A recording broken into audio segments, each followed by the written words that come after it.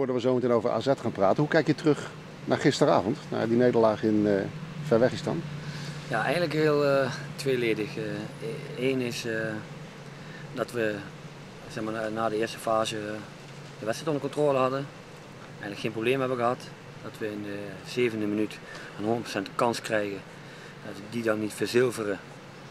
Ja, dat, is dan, dat kan. En dan loopt die wedstrijd loopt door. Krijgen we ook een vervelend moment met, uh, met Massa, een terechte rode kaart.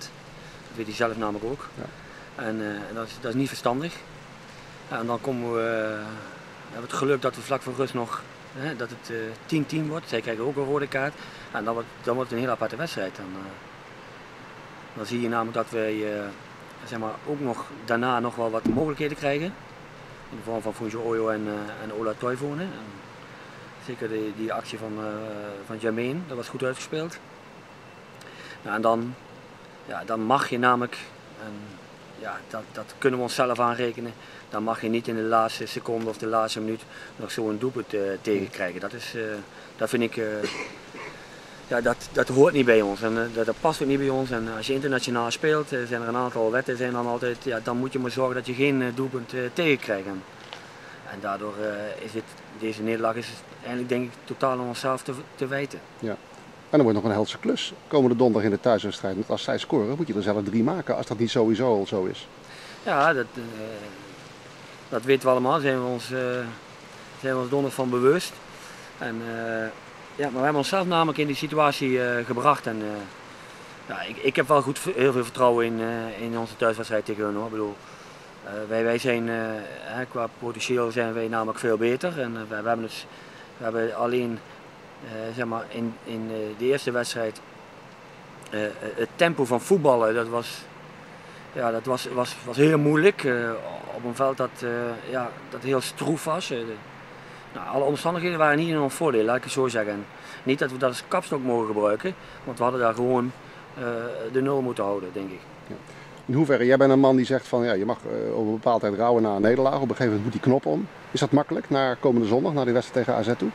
Ja, zeker. We hebben een lange reis uh, hebben gehad en uh, we hebben uit kunnen slapen. Dus al die omstandigheden die zijn nu weg.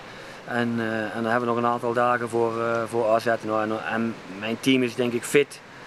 En, en die knop moet heel snel weer om.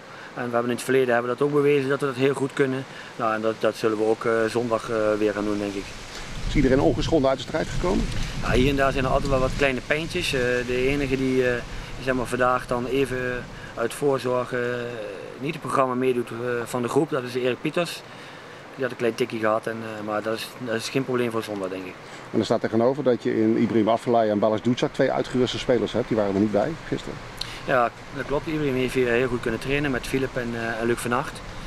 Uh, Stef Nederland heeft hier goed kunnen trainen, Salcido heeft hier goed kunnen trainen. Dus wat dat betreft hebben we weer een aantal frisse jongens. Alleen Stef Nederland is nog niet klaar voor zondag. Hoe kijk je tegen AZ aan? Een ploeg die een aantal van zijn sterren verloren heeft? Ja, maar wat, wat ik heb gezien dan in de wedstrijden die AZ heeft gespeeld tegen Groningen onder andere, dan zie je namelijk wel dat, dat de AZ zeg maar, wel heel veel vertrouwen heeft. Uh, en, en, uitstralen, wij zijn een team. En, en de trainer kennende, eh, ja, dan weet je ook dat, uh, dat hij daar uh, ja, heel veel aandacht aan besteedt aan het, aan het teambelang. En, en, en fysieke gesteldheid. Nou, en je kan wel zien dat de AZ fysiek fit is. En je wilt zondag, net zoals thuis tegen de graafschap, voor je eigen publiek toch wel weer wat laten zien? Altijd. En, niet dat het altijd zal lukken, maar de intentie van dat, we, dat we ons eigen stadion ja, ja, gewoon de baas willen zijn. En, en dat moeten we gewoon voortzetten.